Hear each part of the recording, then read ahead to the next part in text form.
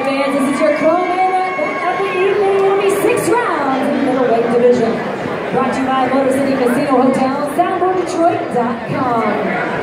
To my right, fighting out of the red corner, weighing 154 pounds, comes to us with 38 professional